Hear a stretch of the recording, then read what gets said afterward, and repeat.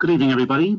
The Biochemical Society and Portland Press are pleased to welcome you to this webinar, which is part of our Biochemistry Focus webinar series. Topics in the series include different research areas in the molecular biosciences, as well as practical sessions to support career development. Each webinar will give you the opportunity to ask questions via text, and we welcome suggestions for future topics and speakers to feature in our webinar series consult the uh, website for further details. So my name is uh, Richie Porter, and I'm based at the School of Biochemistry and Immunology here in Trinity College Dublin, otherwise known as the University of Dublin, Trinity College. Uh, and I'm very happy to and, and delighted to chair this session today. The webinar is part of our dedicated early career research program of webinars, and we're delighted to provide this opportunity today for Anna, Danielle, and Gail to share their work with the molecular biosciences community. Today's webinar is titled Developments in the Immune System and Immunotherapies, and we will hear from three early career researchers who will share their current work in this field. Okay, so uh, before I head over to our first speaker, I'd like to mention that questions will be asked at the end of the webinar, but please do send in your questions during the talks. If you have a question, please type in the question box as shown in the image on the screen, stating who your question is for, and we will try and answer as many as possible at the end. Our first uh, invited speaker today is Anna Bajura from King's College London. Anna completed her PhD in developmental cell biology at the Max Planck Institute of Molecular Cell Biology and Genetics in Dresden. Anna is currently a postdoctoral researcher in the group of Dr. Kathleen Spillane at King's College London, investigating the role of mechanical forces in B cell activation with a special focus on the role of actin-dependent regulation of plasma membrane organization. Today, Anna will discuss her work on modifying interaction between the actin cytocortex and plasma membrane, shapes B cell activation, a new role for CD20. I hand over to you now, Anna. Hello, thank you. I hope you can hear me well. Um, let me just uh, quickly get the pointer. Um, yeah, thank you very much for giving me the chance to talk uh, about our work um, investigating the role of CD20 in B cell activation. So B cells, um, as a response to either pathogen entry or vaccination, can become activated, and this um, then drives production of antibodies um, which will be able to bind to antigens um, on pathogens or toxins and by this neutralize them or drive other immune cells to immune responses. And um, normally antigens are presented on the surface of antigen presenting cells. So, so sorry for it. Um, yeah, and um, this then leads to activation of B cells. And this response has to be basically just right. So in case um, activation is too low, this may lead to immune deficiencies. However, if this activation is too high, uh, this would give rise to autoimmunity, allergies, or cancer. Um, and there are multiple ways how uh, B cells activation is regulated. One of them, one of the proteins that is very important uh, in activating B cells um, is CD20, it's a transmembrane protein that is localized basically um, together with B cell receptor and um, in resting cells. Um, what happens is that actin confines the movement of both B cell receptor and um, all the molecules that are surrounding it. Upon uh, antigen binding, this actin um, cortex that is below the membrane disassembles, and this allows uh, increased mobility of the B cell receptor, which will then allow for clustering of um, B cell receptors um, and formation of microclusters. At the same time, CD20 has to be removed from the plasma uh, from the vicinity of um, B cell receptors in order to allow for the binding between B cell receptor and CD19, which is a co-stimulatory protein. And this is important because it um, will only allow uh, for a, a regulation of downstream signaling mobilization of calcium and leads to transcriptional changes. At the same time, what is also known is that decrease in CD20 levels is associated with um, differentiation of B cells into antibody-producing plasma cells. And I think very important for today's talk um, is that um, CD20 is a outstanding immunotherapy target. Um, it's used to treat a cancer or autoimmune autoimmunities. At the same time, we know that level of CD20 uh, is associated with the aggressiveness of, um, for example, uh, leukemias. And despite its huge importance, we know very little about the exact function of this protein in uh, B cell activation. And this is why our group um, decided to work on this question. So um, the way we approach um, studying B cell uh, receptor signaling um, is we use reductionist approach. So in order to mimic antigen presenting cell, we use uh, supported lipid bilayers uh, that are loaded with antigens uh, with uh, fluorophores. And this enables us, uh, following the activation of B cells, because we can basically follow every binding impact event within the B cell using TIFF microscopy. And at the same time, by combining this with um, looking at calcium signaling, in this case, we can look at initiation of signaling. So you can see here over time, um, if we allow B cells to activate with antigens, we will get this nice immunological synapse, and we can observe also level of signaling using calcium. We were also very fortunate um, to have received um, CRISPR-generated um, CD20 knockout cells, uh, Ramos cells from the group of Michał Śmida in Czechia. And uh, we decided to, of course, test them using microscopy. And I hope you will appreciate here that in the control, which has only Cas9 expression, we can have very nice calcium accumulation in the whole cell.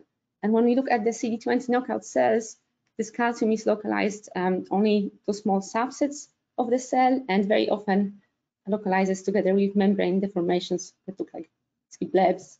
Um, so this is something that um, we quantified as well in our cells. And uh, we observed that uh, indeed CD20 knockout shows increased blebbing, which is not associated with um, defects in proliferation of or increased dying, uh, which to us suggests that um, this losing of CD20 affects immune synapse shape, um, potentially also membrane tension. And what causes blebbing and how blebbing normally occurs is um, if we can see um, our cells basically um, actin cortex is always underlying um, the membrane and it's attached to the membrane by linker proteins which mostly consist of uh, ERM proteins and the best example of this is ezrin. And either if we lose um, linkers or if we have very high local pressure in our cells. Um, this can lead to membrane detachment, and this is one of the greatest causes of blebbing. So you can see um, it will basically occur um, just because of the hydrostatic pressure um, within the cell. Um, and we tested whether this membrane detachment plays a role in our CD20 knockout cells. And as you can see, we have basically no change at the level of um, phosphorylated ezrin, which suggests that membrane detachment is not a problem uh, in our CD20 knockout cells. The other uh, cause of blebbing can be simply effect, defect in the actin cortex, um, which first of all can be due to changes in the membrane tension or um, actin disassembly that is increased. And this, of course, will result in blebbing as well. So we looked at the main constituent of uh, actin cortex, which is F-actin, uh, in B cells, and we see that upon activation, indeed, uh, we see an um, increased, decreased um, actin accumulation after five minutes of stimulation. Um, so the next thing we wanted to know is whether also cells that are resting, so unstimulated, have uh, decreased actin levels. And indeed, this is what we see. So already um, at the resting cell state, B cells that don't have CD20 have less act F-actin. Um, and what does it mean? Why, why this is really important? And um, as I already mentioned to you, um, actin restricts or confines B cell receptors. And upon antigen binding, what happens is that um, locally actin becomes disassembled, and this allows uh, increased mobility of the B cell receptor. And the fact that it can bind together means that basically it can form macroclusters and drive signaling. So what we were speculating is that in case of our CD20 knockout cells, because we observed from the beginning reduced actin density, which is enhanced upon antigen binding, we would expect even more um, clusters uh, that are signaling active and potentially um, because of this increased signaling. So this is what we again tested uh, using imaging. Um, so here, first I will show you an example from the Cas9, so the control cells, and you can see um, clusters um, that form, and this you can probably maybe better appreciate on the stills from the movie as well. I just highlighted a couple of them, and you can hopefully appreciate that the clusters will grow over time. And when we look at calcium level, you can also see that calcium very nicely corresponds with the antigen signal. Uh, and then when we compare this with the CD20 knockout, uh, probably, hopefully already from some of the stills or the movie, you can see that in some cases, um, actin, uh, antigen clusters are larger in our CD20 knockout cells. So we can here, for example, see at um, 30 seconds, the clusters will be significantly larger um, than in case of the control cells. And also, quite interestingly, we observe um, that in contrast to our control cells, we see a lot of um, calcium spikes that don't exactly correspond to antigen binding, which suggests increased um, signaling. And when we look at the cluster growth, we see that indeed this is increased in comparison to the control and also antigen accumulation over time um, is increased at the immune synapse in CD20 knockout cells. So of course, um, there is some, um, let's say, hypothesis that maybe um, indeed signaling is affected and also based on the blabbing that the synapse structure may be affected.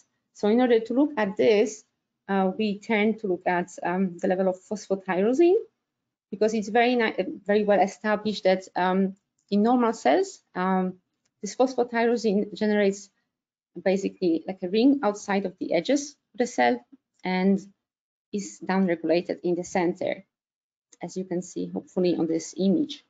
Um, and when we looked at CD20 knockout cells, we saw that um, this downregulation basically in the center of the cell doesn't really um, occur. And maybe even better, you can see this from the graph.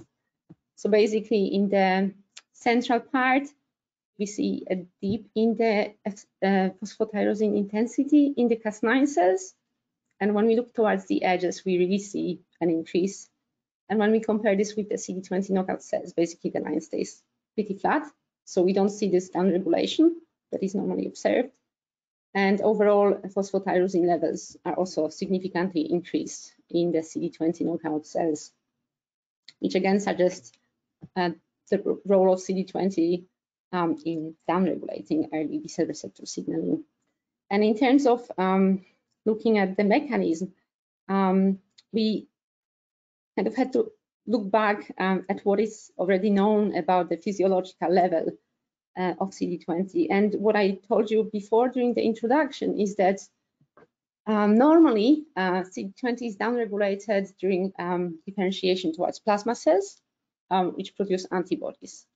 And one thing that um, was recently um, highlighted uh, was that those cells also undergo metabolic changes. And a very nice uh, work from the group of Michael Reff recently showed um, that CD20 knockout indeed has increased metabolic activity. So here you can see increased consumption of oxygen um, and um, also mitochondrial activity is increased. And this is very important because when cells prepare to producing antibodies, of course, they need to secrete and produce the proteins. And one of the proteins uh, involved in metabolic uh, regulation is mTOR, and it's also important um, in uh, differentiation to, towards plasma cells. So when we looked at mTOR-C signature in our CD20 knockout, we observed that the most important targets of activation is are indeed increased. Um, and therefore, we decided to test whether inhibiting mTOR um, in our CD20 knockout can rescue the phenotype. So here, once again, I'm showing you um, basically what happens to the immune synapse um, in our CD20 cells. So we can see that cells bleb can also see the quantification and um, actin, F-actin levels are decreased. And when we look at the inhibition of mTOR signaling, both with taurine, or here both with rapamycin and taurine, we can see that we can basically rescue the blebbing and also um, actin levels come back to normal. And I mean, even if you just look purely at the synapse, is, almost perfect. Um, and I think this is very important and I think interesting because it shows you how a metabolic regulation can at the same time feed back to the plasma membrane ability of cells to activate. And this is just a summary of what I showed you today. Um, so I showed you that um, CD20 knockout uh, in B cells leads to, the, to a defect in the actin cortex and immune synapse shape as observed by the increased blebbing. And this um, correlates with increased antigen clustering and signaling levels. And at the same time, I showed you that um, the metabolic change probably mostly depends on um, the activation of mTOR in CD20 and um, contributes to the actin cortex phenotype that we observe. And I think this is, again, very important when we think about um, human physiology, because we very often forget how metabolism can um, affect basically how well our immune system works. And I think this is a very interesting time also to look at metabolism and regulation of uh, both B cell activation, but also looking at mechanobiology of cells. And with this, I would just like to acknowledge um, everyone um, that contributed to the work uh, and my boss, uh, Caitlin Spillane, who allowed me to uh, conduct the project, and especially the students um, that did a lot of work. So Anissa did the whole image analysis pipeline that we used to look at signaling, and currently we have two uh, students, um, one looking at um, actin regulation, actin regulatory proteins, and Kia uh, is looking at a structure function analyzing CD20. And yeah, with this, I would like to thank you also for your attention. And yeah, later on, wait for questions. Thank you. Uh, thank you very much, Anna. That was a very uh, insightful uh, lecture. We'll, we'll, we'll, again, if you have questions, put them in the chat and we'll ask at the end of the three seminars. So next up, our second invited speaker is Daniel Gonçalves Carneiro from the Rockefeller University. Daniel obtained his PhD in 2017 from the University of Birmingham, UK, studying how measles virus invades human cells. Later, Daniel moved to the Rockefeller University in New York, where he's been studying how viral RNA is recognized by the cell as foreign RNA. Daniel has been studying an antiviral protein called ZAP, zinc finger antiviral protein, that binds to CpG dinucleotides present in viral RNA and selectively targets this RNA for degradation. More recently, he's applied this knowledge to develop live attenuated vaccines that are conditionally inhibited by the presence of ZAP. So today, Daniel will present his work titled Delineation of Optimal RNA Targets for Zinc Finger Antiviral Protein Enables Conditionally Attenuated Virus Design. Thank you, Daniel. Uh, thank you, Richard, and uh, thank you for the society to let me present my work here today. Uh, so um, as Richard said, I did my postdoc in uh, Rockefeller University and the work I'm going to talk about today is mostly of that. Um, however, I just joined uh, Imperial College London as a fellow. Um, so most of my talk today is going to be about a protein called zinc finger antiviral protein or ZAP. And as the name suggests, this protein inhibits the replication of viruses by recognizing CG dinucleotides in viral RNA. And we think uh, this protein does that primarily by targeting virus RNA for degradation, but it can also block protein translation and induce the production of interferon. Um, and we've known about ZAP for two decades now. It was initially uh, described to inhibit the replication of murine leukemia virus, and ever since has been implicated in the replication of many more RNA and DNA viruses. And I got interested into this in this protein while a few years ago we made a mutant of HIV1 that encoded for exactly the same protein sequence but had a collection of synonymous mutations in the envelope gene. And this virus uh, replicated very slowly in T cells in culture, here shown in red, and in black you see uh, the wild type HIV. However, when we re uh, replicated this virus in ZAP knockout cells, the virus was completely fine. And we showed that uh, ZAP was binding directly to CG nucleotides in viral RNA and inhibiting virus replication this way. We've also solved the structure of the uh, RNA binding domain of ZAP, binding to um, uh, viral RNA. And we found that one molecule of ZAP binds one CG uh, dinucleotide at a time, which created a problem because we knew that a single CG dinucleotide was insufficient for a virus attenuation. Um, so there must be an arrangement of CGs in the viral RNA that allows for um, virus attenuation via the activity of ZAP. And that's discovering these features, the question that I uh, addressed.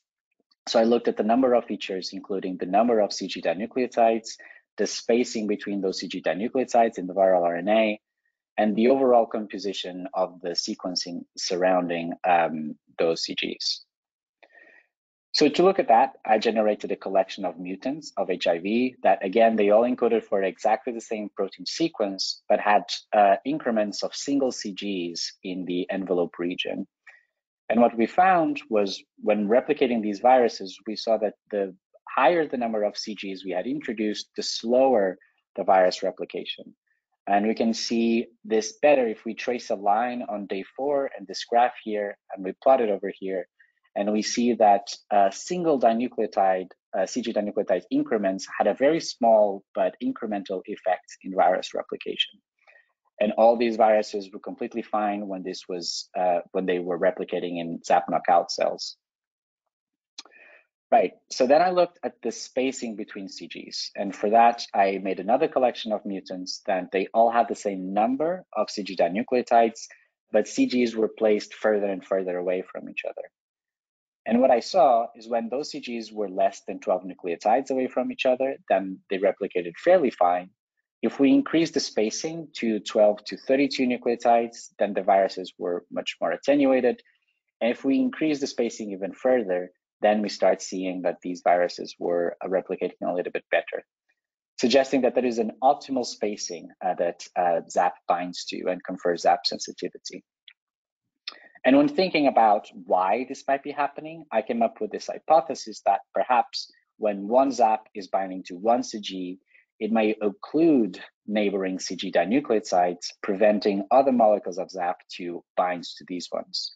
However, if those CGs are spread across the virus RNA, then multiple molecules of ZAP can bind to the same RNA. And to test that, I used a technique called ClipSeq, in which I isolated the RNA that ZAP was binding and I sequenced that.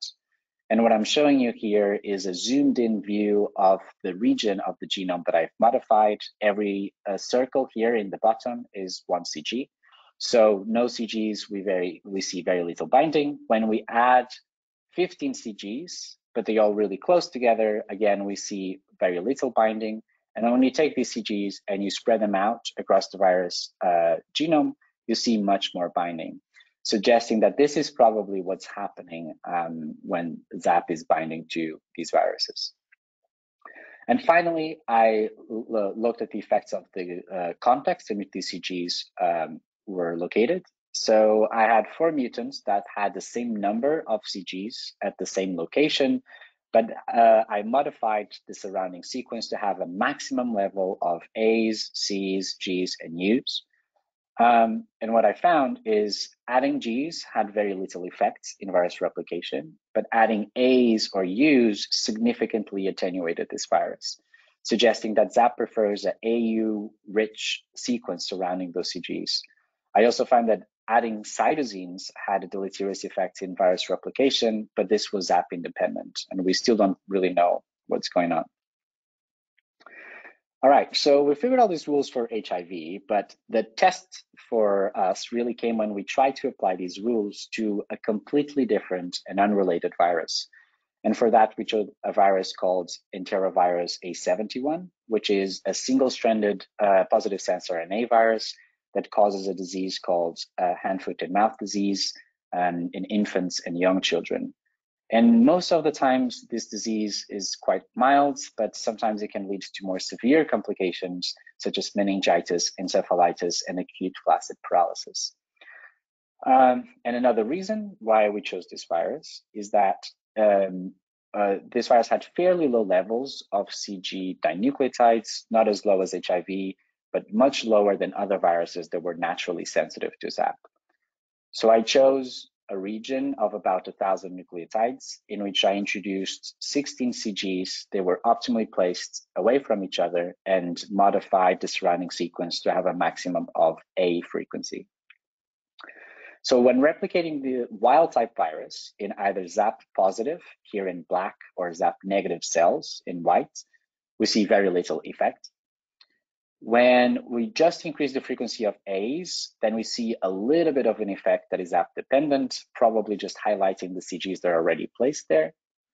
When we add CGs alone, again, we see a very little effect, but nothing to write home about. And it's only when we do both, so when we increase the frequency of A's and we uh, increase the number of CGs, that we see a much bigger effect, suggesting that these rules were also true in enterovirus A71. So what about in vivo? And um, mice are sensitive, can be infected with these virus, but they only developed symptoms if they were infected very early on in their development. And the symptoms that we see is the development of one limb paralysis or two limb paralysis. Um, and this is sort of the uh, symptoms we tracked. So when infecting with wild type virus, we see that disease progresses very similarly between ZAP positive and ZAP negative mice. And indeed, most of the mice uh, did not survive infection and they die within 20 days after infection. However, if we infect with our recoded CG-rich virus, we see something different. We see that mice that lack ZAP, they do succumb to disease and they progress to the disease as similarly to wild type, but most of the ZAP positive mice were completely resistant in developing symptoms, and indeed most of them survived infection, suggesting that ZAP was also protecting mice from the infection with the recoded CG-rich virus. And this is also true at the level of the RNA. So for example, in wild type um, EV71, we see comparable levels of RNA, of viral RNA there is, However, in the recoded CG-rich virus, we see much lower RNA levels in ZAP-positive mice compared to the ZAP-negative.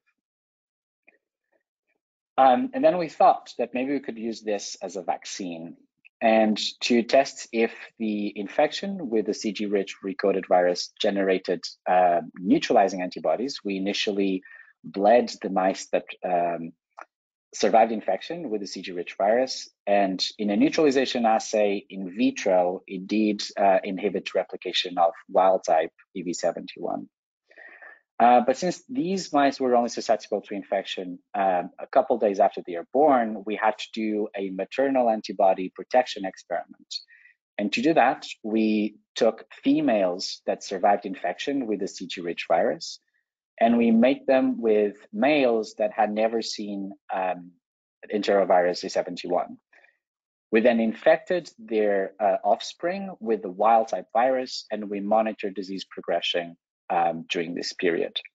And what we saw is for um, pups that were from mothers that were never exposed to enterovirus A71, um, disease progressed very similarly. And again, most of them die after the infection in pups that were from mothers that survived infection with our recoded CG-rich virus, um, most of them did not develop any symptoms, and indeed, most of them survived infection, um, suggesting that this could be um, a new technology to um, generate live attenuated vaccines that is conditional to the expression of ZAP. So just in summary, this is a collection of the, the features that I found that I, are important for ZAP. So the number of CGs seems to be important with, at least in HIV and EBV71, about 15 CGs to be sufficient to attenuate these viruses. The spacing between them seems to be crucial to allow uh, specific bindings of multiple ZAP uh, proteins. And overall, having a AU-rich sequence seems to also impact um, virus replication. And again, this was shown to be true both in uh, human cells in vitro and in the uh, mouse ZAP knockouts that we generated. And I would just like to um, acknowledge all the people in the lab of retrovirology at the Rockefeller University um, and Professor Yokafan Chan from the University of Malaya, who shared with us the reverse genetics uh, for enteroviruses 71 and the CRISPR and Genome Editing Center at the Rockefeller University, who generated the ZAP knockout mouse line that we used. And uh, thank you for listening. Thank you, Danny, very much. That was a great talk, very uh, robust and detailed work. Um, so we'll move on to our next talk now. Again, those of you uh, listening, please send in your questions to the chat box. Our third invited speaker is Gail Hogwell from the University of St Andrews University in, in Scotland. Gail is a biochemist with um, experience in protein science, including DNA repair, protein quality control in archaea. Her current research project focuses on bacterial immune defense systems, and she's a postdoctoral researcher in uh, St Andrews University. Uh, today, Gail will present her work titled, How Can a Superhelical Structure Be a Cell Killer? the case of a bacterial tear immune effector. Got the floor, Gail. Thank you for the introduction.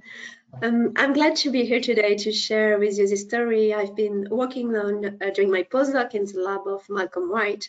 And here we're going to dive a little bit more in the world of bacteria because, well, they also have to fight uh, viruses um, but even if in their case we call them bacteriophages.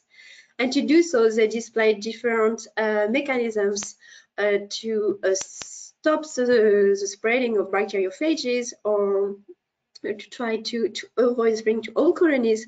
And there are so many mechanisms, and you probably know one quite well, at least by the name, is a CRISPR-Cas uh, system that is mainly known, um, but it's not only a really good uh, genetic uh, tool to edit the genome, but for bacteria, it's important and it's part on some of them uh, of an adaptive immune memory. But I'm not here to talk about the CRISPR-Cas system. I'm here to try to show you that there are many dif different mechanisms, and I would like to introduce you to a kind of one specific strategy that bacteria can use. And it's a strategy that could seem a bit extreme, but in the case where you have a cell infected by bacteriophages, if the cell is not able to fight properly to stop the, the infection cycle, the bacteriophage will spread to all the colony. So when fighting back is not enough, some bacteria has developed a kind of last solution to uh, stop the spread infection. And this is what we call, well, the abortive infection, where you have one infected bacteria that will uh, trigger uh, defense mechanisms that will lead to the death of this infected bacteria. So to stop the, um, the infection cycle and to avoid the spreading of all the bacteriophages to all the colonies, so the colony could um, survive. So this extreme, for this extreme solution, bacteria has developed uh, different mechanisms and they could be quite creative for that. And I would like to show you, well, I will start to spoil my own presentation by showing you a structure of one protein that is involved in this kind of abortive infection mechanisms. And this protein uh, makes a kind of filament here, and this is the active form that will be essential to start the, um, the dying process of the cells. But let me restart at the beginning of this story. And here, it's the story started with a ring, but a chemical ring that is made of uh, three molecules of ATP, AMP that has been um, that are cyclic, cyclic molecules that we give, I gave the nickname of CA3. And these cyclic nucleotides are more generally used as uh, messenger molecules in different uh, signaling pathway. But in the case of um, immune defense system, here we have some, uh, in bacteria, we have some cyclase enzyme that are able to use either ATP, GTP, or the nucleotide molecule to, um, to create a cyclic nucleotides in response to uh, the phage infection. And this cyclic nucleotides will be bound by a downstream effector protein that could be a nuclease that would degrade uh, all uh, DNA or RNA or phospholipase or other proteins that will degrade essential molecules. And in this process, the cell will die at the end. These different mechanisms have been uh, really recently described in the last uh, few years, and they are gathered under one name that we call the CBAS for a system that use cyclic nucleotide as an antiviral strategy. And in our lab, we started to look at different systems uh, based on bioinformatic work. And we stopped our interest in one um, bacteria that I will nickname with the NTE. And we found that uh, in this, uh, in its genome, more, general, more generally, uh, immune defense systems are gathered into a kind of defense island operon into the genome of bacteria. So for example, if you look at this, try to find a cyclase homologue here in green, you can find in the neighborhood uh, of this gene other genes that could be involved in the same uh, system, the same pathway. So here I started to work on one protein that could be a putative effector protein working with a cyclase that is called TIR saved because it's part it's organized in two domains, a TR domain with a putative um, enzymatic activity and the same domain that I've been described to sense a molecule, including cyclic molecules. So the first question was, what is the nature of the signal for the cyclase to communicate with the effector protein? To do so, we did uh, the purification of the different proteins in vitro, and we incubate everything together to do some enzymatic assay. And we find out that the cyclase, by using ATP, was able to produce a CA3 um, molecules. And if we put that together with a TIR saved and some substrate of the TIR saved, we were able to see an activity by the degradation of the NAD here in uh, ADP ribose that emit fluorescence in our assays. So this is a signal you can see here in the figure where we have everything together, ATP, cyclase, and the TIR saved. So clearly the signal molecule was CA3. And when we try to remove it by um, another kind of cyclic molecule like CA2, CA4, CA6, it didn't work. It was really specific uh, to uh, the cyclic 3 AMP molecule. So the next question was, well, as we are biochemists uh, working also with structural biologists, the next question was, um, what is the activation mechanism behind this? How the binding of CS3 will um, trigger the TIR, uh, the NADS activity? To do so, we did a collaboration uh, with the University of Glasgow, where they analyzed uh, by microscopy the complex form uh, between uh, TIR saved and the CS3 molecules. And strikingly, they were um, managed to observe this really nice proteome filament here, really well organized, that uh, we started to to nickname with as a slinky protein in reference to this toy here, because it make a very stretched slinky uh, structure here. And thanks to the solving of the structure by a combination of cryo-EM, but also the use of AlphaFold to get at least a structure of one uh, subunit of tiercell.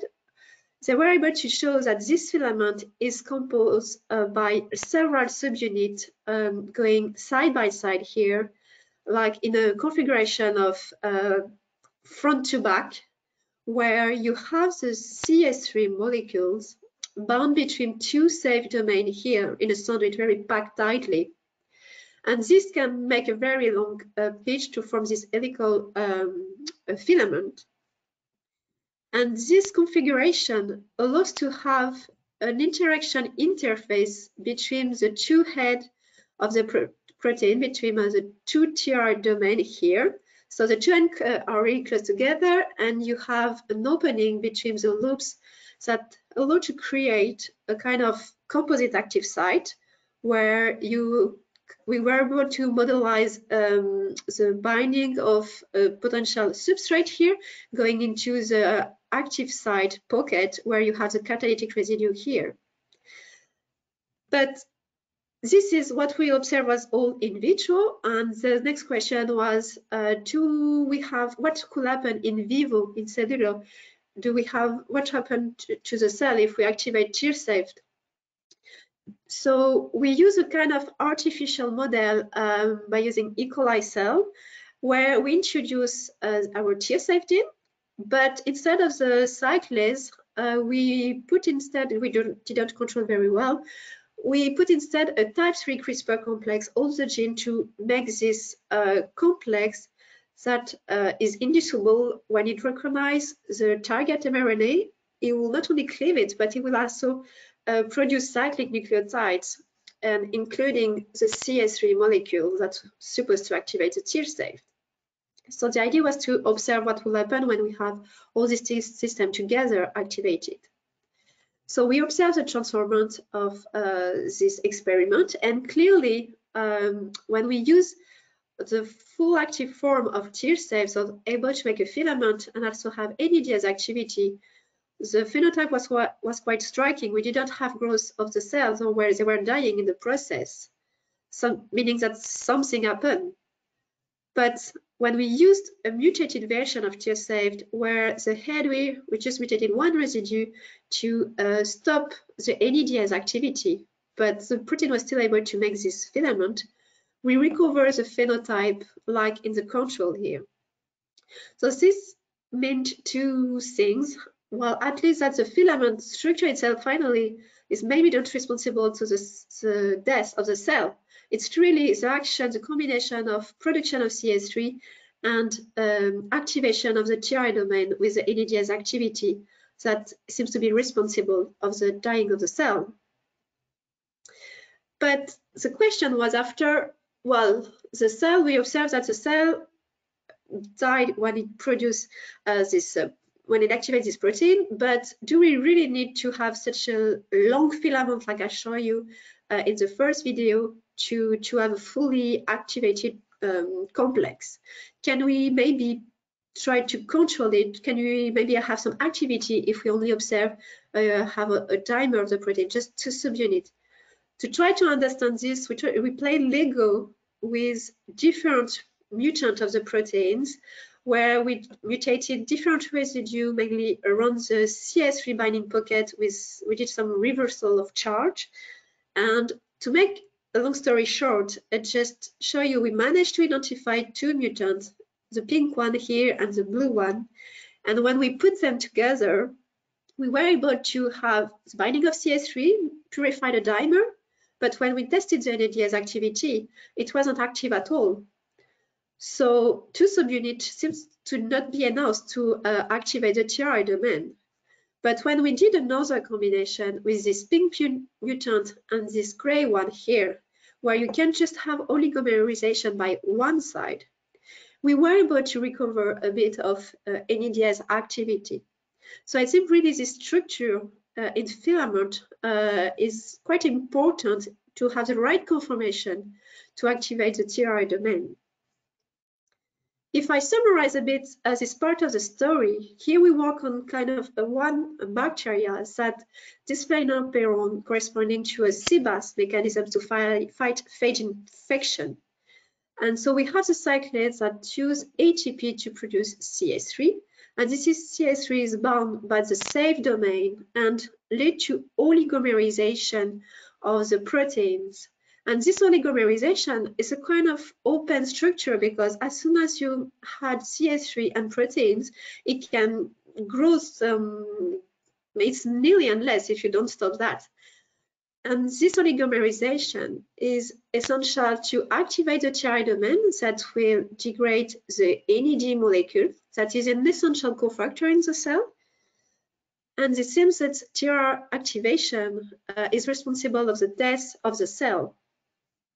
So we publish, all the data are published, um, have been published uh, last summer. There are still some questions remaining around that. For example, well, we are not uh, completely sure that NAD depletion is a reason uh, why the cell dies, or if maybe there is some other mechanisms um, below this. And we still try to understand uh, what is the mechanism to activate the cyclase, at which step of the um, infection cycle this process uh, starts and how the other protein of the operon can regulate all of this. And I would like just to uh, continue with uh, to put everything in more in the evolutionary context, because here we work, I work on in bacteria uh, TR safe proteins, but the TR domains are conserving the three domain of life, bacteria, um, archaea, and eukaryotes we have really recently we have really nice example of uh, TR proteins that makes this kind of nice long structure, complex structure. But we also have this in eukaryotic cells. And the good examples are uh, with the plant NLR human receptor. We have here this extremity, a TR domain. And but also in the protein, in the human protein, uh, someone where um, the we have also a TRI domain, and the oligomerization process is a key step to trigger the NADH activity of these uh, proteins. And in the both example here, when NADH activity um, is, is, is, triggered, you have the, it starts the process of uh, the death of the cell. So in the case of Salmon, it's involved in uh, neuron degeneration. And as we are in a early career researcher um, webinar, I maybe wanted to, to finish with a kind of message uh, showing that, well, in, we do not always control where science leads us. And like the picture of this tree, sometimes you can follow a main route, uh, but sometimes you have to maybe jump from branch to another. That was maybe my case where I work in bacteria, archaea, and now I'm working on eukaryotic cells. But whatever happens, I think, well, for each experience is worth having and makes our research journey. So from this, I would like to thank um, all the people involved uh, in this work. Here, this is a picture of the Malcolm Wright group. Here is this Malcolm. Um, and I would like to thank the group of Laura Spaniolo with her PhD student Abigail that uh, they both did a really great job um, with the Scottish Centre for Micromineral Imaging to study the structure of uh, these really nice proteins. And, this, and today the good job is still ongoing. We have a group um, at the Rosalind Franklin Institute where they're working on the TSA protein more uh, in, in the cellular context to observe this uh, filament. And I would like to uh, thank you all for listening and thanks the Biochemical Society for this uh, webinar. Thank you. Thank you very much, Gail. That was very interesting indeed, and hopefully we'll come to a lot of good questions.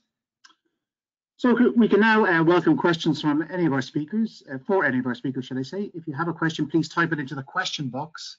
I kept on saying the chat box, but I meant the question box as shown in the image on the, the screen our speakers are ready and willing to answer questions. So let me go to the question box. Okay, I have a question here for Daniel. It says, do you have a hypothesis as to why C is acting independently with regards to ZAP? Uh, so that has been a very um, difficult uh, project to study. Um, we do think there are some defects on um, RNA transcription. Um, so maybe it's blocking, um, you know, de novo expression soon after virus, the HIV genome gets integrated. Um, I tried with a couple different ways of trying to understand exactly what proteins were blocking uh, RNA transcription. Couldn't really find anything yet. Um, you can definitely reduce um, this effect that we're seeing if we reduce the number of cytosines. So same thing as we see with, with the CGs, but I don't really know what's causing that. And uh, I, you know, it's something we're working on still. Okay. Thank you, Daniel. The question for Anna here. How is the expression of CD20 related to blebbing? Yeah, that's a that's a very good question. So, I mean, this is something that we are uh, currently. I mean, currently we were already working a bit with our students. So something that we observe in CD20 um, knockout as well is that we see an effect on a wave complex, so the level of um, wave 2 seems to be changed in C20, and there that's that's in fact a bit of background story how we also related our results to mTOR because there is a relation between mTOR activity in cells and uh, wave 2 complex. So this is what we think currently maybe one of the reasons. Another thing is that we also see, um, as I showed you, increased uh, calcium fluxes and something that is unfortunately quite difficult to test experimentally uh, is what we know that um, increasing calcium levels um, can activate um, proteins that severe actin, like um, for example gelsolin, but they are very difficult. The experiments in, v, in cells um, to look at activity of this protein is very difficult, first of all. Um, so this is something that we need to kind of figure out exactly how to look at. Or um, things blebbing can also arise due to increased contractility. And we as well see increased uh, phosphomyosin activity in our cells. Um, it can be simply because we have increased uh, myosin, uh, non-muscle myosin activity in our cells. So in fact, we have three currently hypotheses that seem to be potentially um, possible still in the cells and we are investigating this right now. I have a, a, related question for you, Anna. Does treatment with drugs that block bleb formation or actin reorganization also restore the immunological synapse in CD820 knockout cells? Uh, yeah, that's a, that's a very good question. So in fact, we tested quite a lot of different drugs.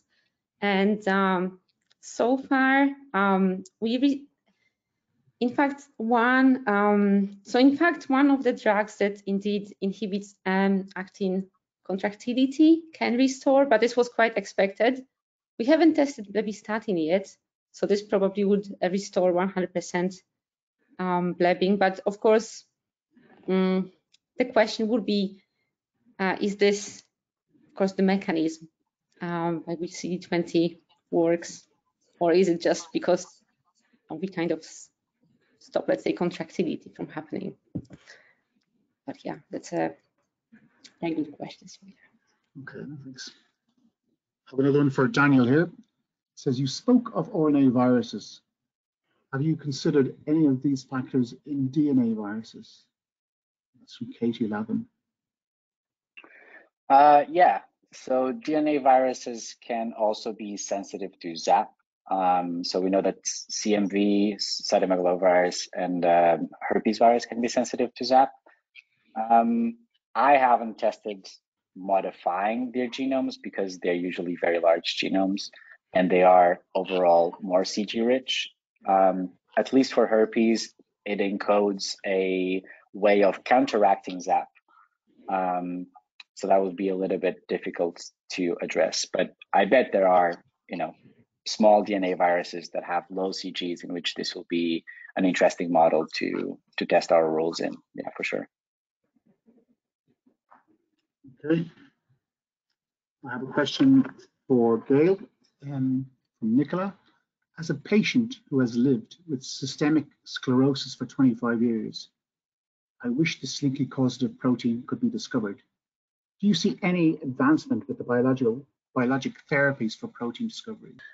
Um, so if I understand well the question about potential therapeutic therapeutical um, application, why was this kind of slinky protein? This yeah, was a question. Exactly. Well, not for specific this protein, but all protein, I would say, that are able to, um, well, we can induce this kind of protein to to trigger a process of uh, dying cell could be used more in a kind of strategy for bacteria um, for bacteria that are resistant to antibiotics, for example. It will be more a system like this. Um, but the filament itself, uh, the slinky protein, uh, to be honest, I think it will be quite interesting to see if there are some other application for it. Um, maybe more a kind of martial way. Uh, for this, I don't know. Okay, we have one for Daniel. Since RNA viruses are unstable and exposed to mutations at high levels, how are you still how are they still sensitive to ZAP? Do they get resistance at some point to ZAP? Uh, yeah, that's a very important um, thing to consider. Uh, so a lot of the RNA viruses that infect humans, actually that infect mammals, they generally have very low levels of CG dinucleotides, which the assumption is that they have evolved to uh, escape the action um, of ZAP. If you look at viruses that infect insects, for example, that don't have ZAP, they have much higher levels of CG dinucleotides. I mm. didn't show you today, but I've also tested um, how stable these mutations are in vitro. So these modifications that I made.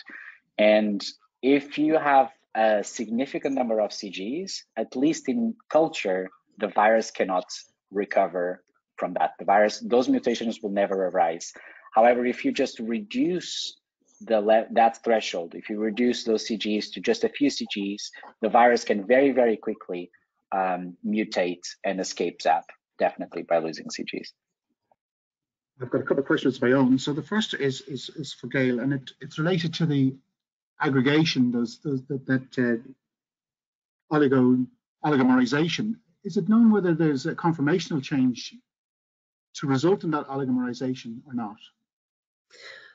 From this oligomerization, uh, we we think well, and we observe we have a conformational change between um, between two TRI domain, like I said, because with this filament doing a, a, curve, we have a kind of very nice curve where you have the loop, the subunit together makes some change between the loop, and I think this is really part of the system that trigger um, the, the activity of the TRI domain. So because yeah, and this seems the cryo show also we have a kind of different movement between the subunit each other. If you go go deeper in the details, they are not exactly in the same position. We have a slight motion between them. So it seems to be something dynamic. Okay. So uh, we've come to the, to the end of, of our discussion, and I'd just like to thank our three speakers, Gail, Anna, and Danielle, for just excellent talks. I think uh, science is in good hands for the future. So thank you everyone for attending and thanks to the speakers. Uh, you can continue this conversation online if you follow at BioChemSoc and at PP Publishing on Twitter. So it can go on. In addition, we are currently welcoming submissions for speakers to present their work in the 2023 uh, Early Career uh, Researcher webinar series. If you've been inspired by any of these speakers today and would like the same opportunity to present your own research, then please consider submitting an abstract for consideration by the 20th of February. Visit our website for more details. Uh, all our upcoming webinars are listed on the website as well, and if you have missed any of the 50 or so webinars that were already run as part of the series or, or would like to watch them again, please visit our website or YouTube channels. The recording from today's webinar will also be available to watch within the next couple of weeks. Finally, I want to highlight that it's more important than ever to stay connected and engage with your fellow molecular bioscientists. Join the Biochemical Society's community of researchers and specialists and take advantage of key benefits, including discounted registration fees for society courses and meetings, exclusive access to a wide range of grants and bursaries, personal on online access to two of their journals and more. Visit the website to find out more. Okay, so uh, just remains for me to, to thank everybody. Thank everybody for tuning in. Thanks for the questions. And finally, again, thank you so much to our speakers. Excellent talks. Well done.